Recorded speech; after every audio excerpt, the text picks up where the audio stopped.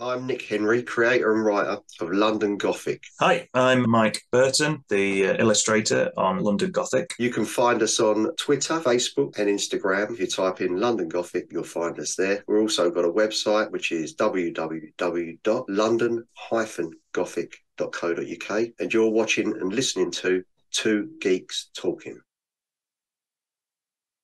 Good morning, afternoon, evening, everyone. Two Geeks Talking is an entertainment industry interview show where we interview the creative people from the comic, film, TV, movie, and video game industries. Of course, I'm your host, Kurt Sasso. Welcome to another interview on the show where we are joined by very talented and creative people in the entertainment industry. So, who are our guests today? Our guests today are two very talented people, of course, creating an amazing comic called London Gothic. We are joined by the ever talented Nick Henry and Michael Burton. How are you guys doing today? Yeah, good. Good. Thanks, mate. How are you? Yeah, yeah, good.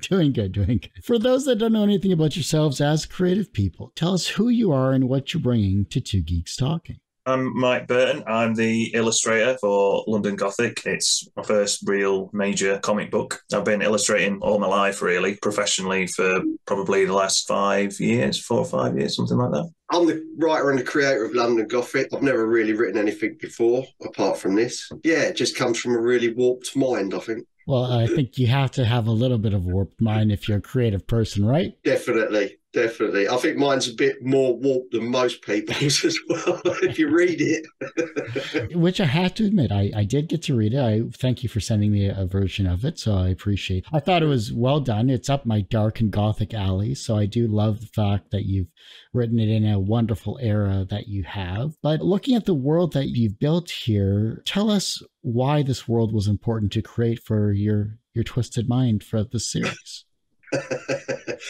it's some characters that I've had since I was a little kid. Really, when I was young, I used to. Um, I come from a really uh, sort of poverty-stricken part of London. We were quite feral as kids, so we used to run right and go around all these different places, and uh, like down the River Thames. And when I was young, a long time ago,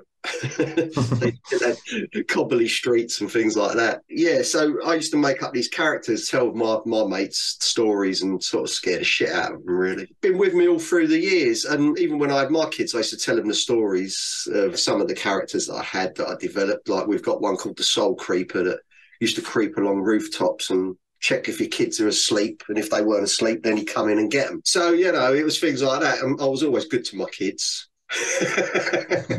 yeah, it was only later, really. I've sort of developed the characters and stories through the years, but it was more when we were going to go into the lockdown. My wife said to me, "If you don't do something with this story soon, you're going to just you're going to pop your clogs, and no one's going to know about it." I decided I thought I'd get it down and start writing it, so I had to teach myself how to write. I decided to go for a graphic novel because I couldn't write a a proper novel. It's not my thing. I'm not that intelligent. so I thought, well, what's the what's the way I can do it so what goes in here comes on the in front of people. I thought, well, graphic novels the way to go. And I taught myself how to do the uh, the scripts and, and stuff like that. And once it was done, then I had to look for an illustrator, and then I found Mike. Luckily enough. So how did you find him? I found him on the, on an Upwork on the Upwork site Mhm. website. I went through quite a few different illustrators, but Mike, he's he's got the great story of it. I tell you, it was uh, he, he just stood out, and he was on my wavelength. I think he's not as he's not as sick minded as me, but he's getting there. I think I'm having that influence on him. Yeah, you tend to get PTSD working on uh, London Gothic a bit, but Like I said to you, I've never written anything. It was really weird because when I started to write it, it all came to me, and I always say that the devil made me do it. I don't know how I did it. It just came, and all the characters and the story all was just there. And it took about four months. I've written all four chapters. They're all done. I know, and Mike knows how it pans out and ends. No one else does at the minute because they got to buy the books. Well, if that isn't the best way to market a series, I don't know what is. You know, that's that's perfect. Love it. So, Mike, when it comes to when you first met Nick and you first saw this on on Upwork, what was the first thing that popped into your mind as soon as you started your initial conversation about this amazing series? uh, run. I think. um, but uh, yeah, so the first time uh, I saw it on Upwork. I was just looking for any sort of illustrating illustration jobs. Nick had put a very, very brief sort of summary of the thing that he was looking for. And I think it was just along the lines of it's a graphic novel, it's set in Victorian London, and it's a horror. And I think that's, that's literally what it was. And I thought, that's pretty cool. I'm really into like sort of uh, the Victorian era. Made my own outfit, like a steampunk type outfit and things like that. Never been able to do any work like sort of in that sort of era. He asked for a panel of Jack the Ripper fighting a demon. And although Jack the Ripper don't appear in the story or anything, it was just to sort of get the flavour and the idea of what, what he was going for without sort of revealing too much. And I thought, well, I want this job. So instead of doing a panel, I did an entire page and made it into a little story. which is very unfair to all the other people I think that were going for the job. But so yeah, I just did this sort of like in a graveyard, and Jack the Ripper was fighting this demon, and then on the the last sort of two panels, he sort of stabs this demon and uh, he's got his hand on his face. And then the next panel, it's a woman that's got her hand on his face and she says, Thank you. And it was just like, just made into a tiny little short story. And it's like, oh, maybe, you know, Jack the Ripper, like, oh, these people were possessed or something like that. Nick seemed to like it. Then we started to go on from there and develop the ideas and the, the characters. And originally, the, we were going to do the graphic novels, pencils and inks. That's what it seemed like for the budget and for the time and stuff like that. As we started to develop the characters, characters and I designed them in color, we realized that, you know, it would be doing it a disservice to sort of do that because to capture that atmosphere, the foggy, misty, creepy, cobbled streets and things like that. Like London itself is, is its own character. And so we really wanted that atmosphere and we had to do it full color. It was the only way it was really going to come across properly. That's always something fascinating, like building a world as you have, Nick, and, and the fact that you're bringing it to life through your art, Mike, as well, too. I think that's wonderful to see. But what's most misunderstood about the Victorian era that maybe the rest of the world doesn't quite understand? I think the poverty and the grime, it was a really tough place to be. In the 70s, when I was growing up, a lot of London, it's not like it is now. If anyone's been to London, it's all tower blocks and fancy, you know, a lot of money been invested. In the 70s, it was still the remnants of a lot of Victorian London. There were cobbly streets and the old wharfs that, that used to have all the factories in and the big old machinery and stuff. When you look at that, and then I, I'd done a lot of research into, well, before I started writing the, novel, I'd done a lot of research into the Victorian London. And it was a terrible place, some of it, you know, really, really poverty stricken. And it made me think, you know, what would it have been like, really, if there were these underground demons that public didn't know about? And there were these people that kept them at bay. People could get picked off anywhere and no one would notice if they'd gone missing. It just seemed a perfect sort of setting as well. What is your creative kryptonite?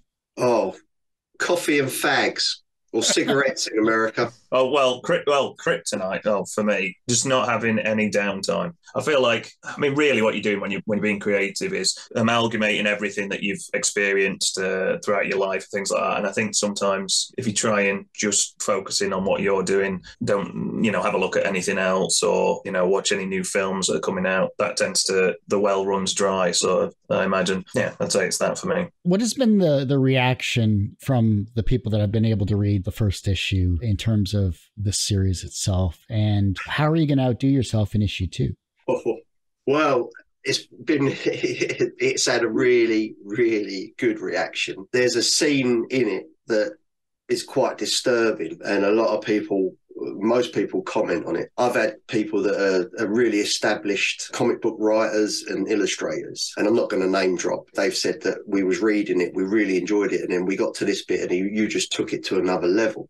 Although the part that I'm talking about was really hard for me to write. You know, it's disturbingly shocking, but there's nothing in it for shocking sake. Everything that's in there has a reason that it has to happen. It's a, been a really, really good reaction. We've had a few people that didn't get it, but very few. But mainly, uh, it's getting a bit of a cult following now, and we've got people that follow us on all social medias. I call them London Gothicers, and I say that they've been London Gothic-fied because when they've read the first one, they just go, "Oh no," you know, they'll send me emails and, and, stuff like that or messages on social media. So we just want the next one now. What's happening? What's going on? And I can assure you that it doesn't get any tamer.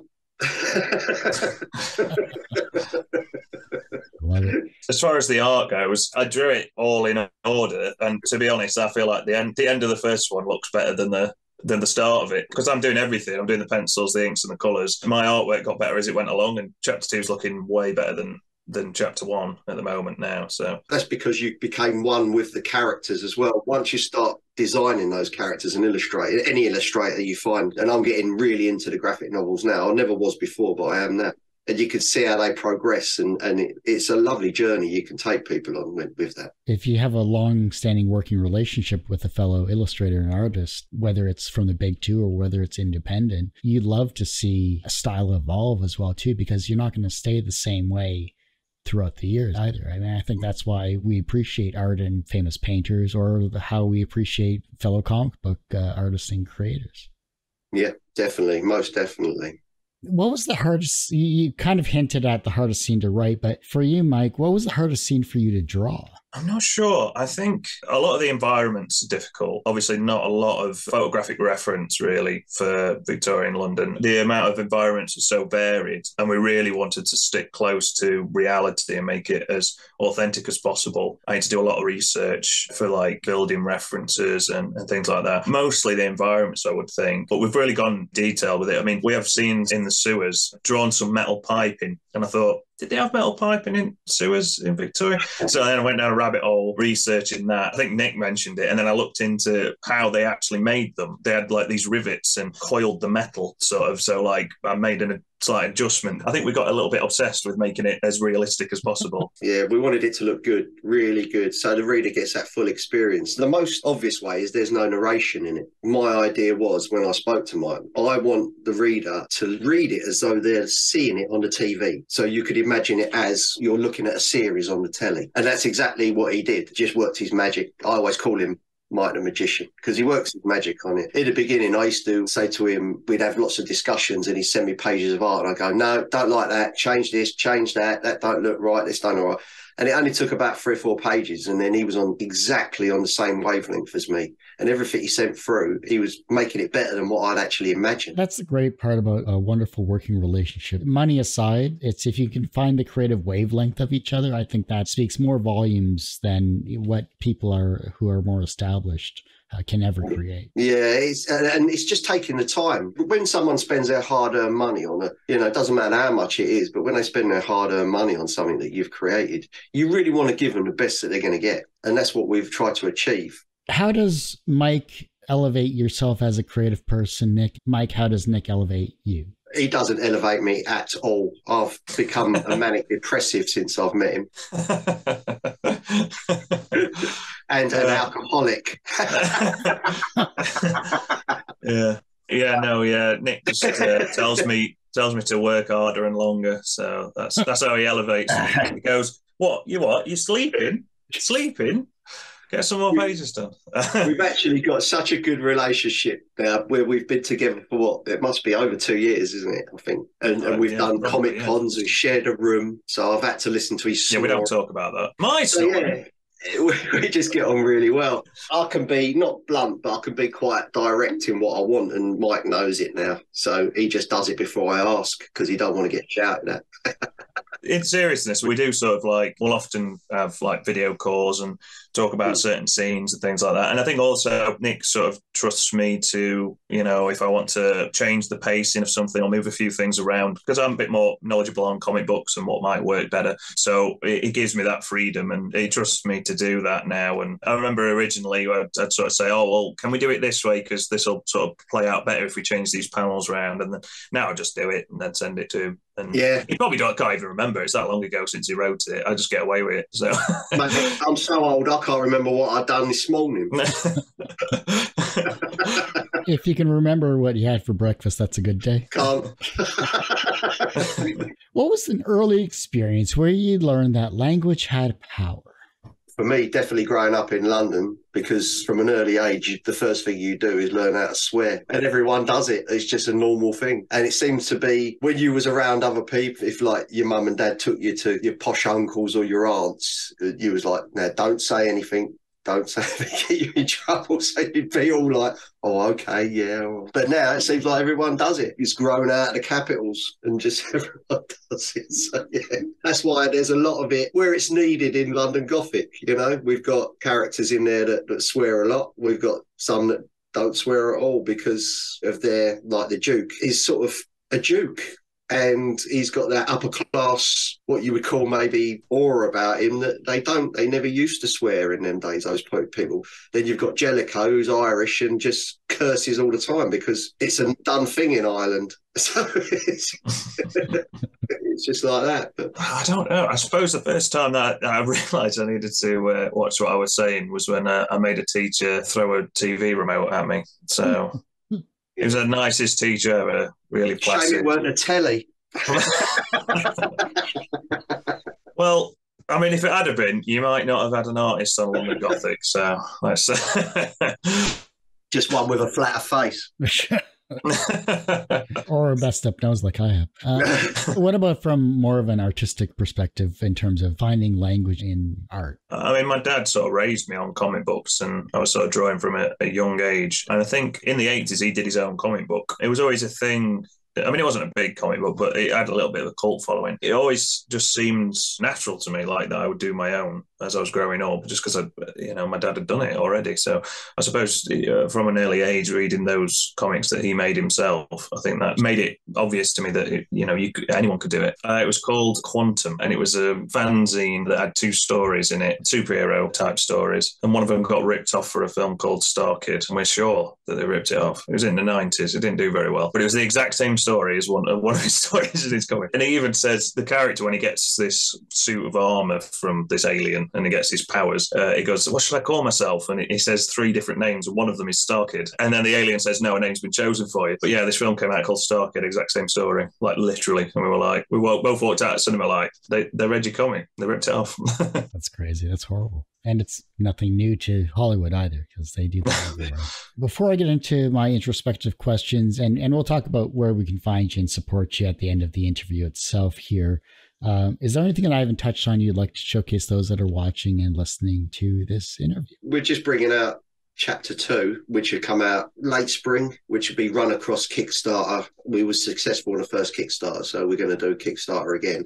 But I've also got pre-orders on the website that will go on there. Other than that, we've just reduced or managed to reduce the cost to send copies to the good old US of A. That's, that's been a positive. Um, that's not been announced yet. It's first on this show. 50 bucks a copy. Now it's going to be more like 25 bucks. Oh, So we've halved it. Yeah, hopefully that'll do well, and we can get get out to the audience in the USA because we've got more followers on Facebook from the USA than anywhere else. But obviously, times is hard. So if you haven't got the money, you ain't going to spend out fifty dollars to get a graphic novel. Is a lot of money, but you know, twenty five is is more reasonable price. Mike, rather, anything you want to showcase or share? I'm just working on London Gothic. and, yeah, I've got no time for anything else. So, so no, I don't think there's anything else really. Keep on doing that. no matter what, it will happen as well. I'm personally funding it, and it was more of like a thing for me to do and get done because it was my story that I wanted it to happen. So when we do like the Kickstarters and stuff like that, they help top the pot up so that we can develop little bits and pieces here and there. But no matter what, all four chapters will be done. Everyone has one person that inspired them on their path to where they are today. Who was that for you? I have to say, my dad, what with him having like 12,000 comics in the house, uh, I got to read a new one every night. And that's what made me get the passion for it and the, the will to do it. And that's how I learned to draw was, was copying those comics. And, you know, so yeah, I'd have to say it was my dad and my dad's influence. I'd have to say, from the point of getting London Gothic actually done, it's got to be my wife who just pushed me to get it done and said, I'm leaving you if you don't do this.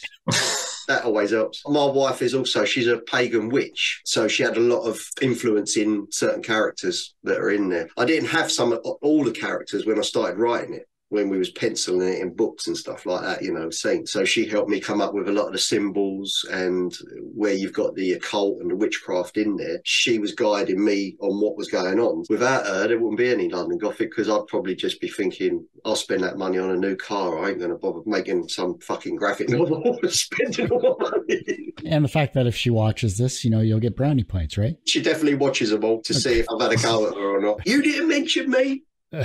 Keep one of them. From a professional standpoint, you have created an amazing comic book with London Gothic. You are in the process of creating up to four more, and who knows what you both will create in the future as well. So, professionally, you're successful in that regard. Do you consider yourself personally successful? I don't. I don't. No matter how big London Gothic gets or small, I'll still be the same. I don't judge things by the success of them. I judge them by how people enjoy reading them. That gives me pleasure. And if they really enjoy it and they ask me questions about the characters and the scenes and where we're going with it, that makes me feel really good.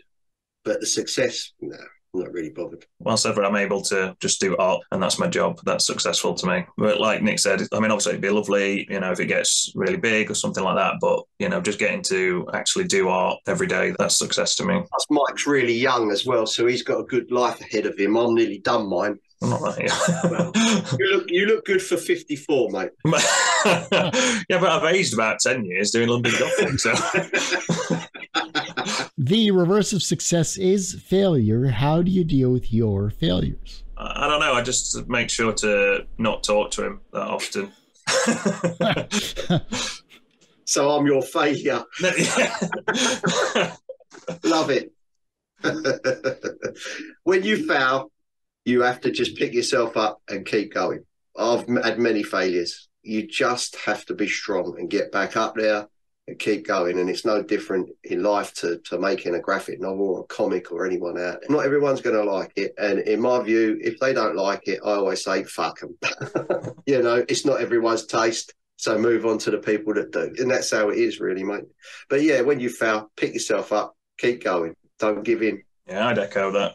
Yeah. I mean, every failure, you learn something from it, don't you? The more you learn, the less you fail. Alfred, when you fall over, you learn to pick yourself up or something like that, wouldn't it? Batman. The younger generation is looking at your work and they're becoming inspired to be creative in their own way, whether it's as a writer, comic book writer, or artist in comics. They are finding their own path in some way, shape, or form, and maybe even inspired them on that path. How can they inspire the generation that follows them? Be true and don't be tunnel visioned. Don't get sucked into a world where you're just doing one thing. You know, if you've got a superhero comic one day and then you have this brilliant idea that you want to do a horror or a sci-fi branch out. Don't be scared to do it. Don't get stuck in that realm. Just being passionate about what you do and taking chances. And the other thing that uh, what i would say is do something that is yours. And if it has been done before or something similar has been done before put your your spin on it. Do something new. You might not be able to to begin with. You might have to do you know what you need to do to get your foot in the door but then do something fresh. Do something that people haven't seen before. Yeah you're right mate. Don't be scared. Don't be scared to do it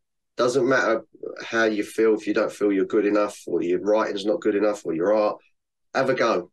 Because you never know. Until you have a go you could have the next thing that, that's the biggest thing in the world that people just love. Just don't know. If your life was a comic book or a film what would its title be? And what would its soundtrack be? Oh christ. It would be something like um, the biggest fuck up ever existed. and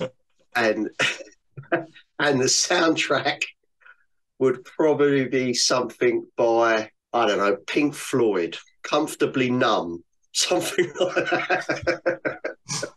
Depends on what you're smoking. Um, yeah, yeah, definitely. I think mine would be it would be the boss is watching, and it would be theme tune to Saw.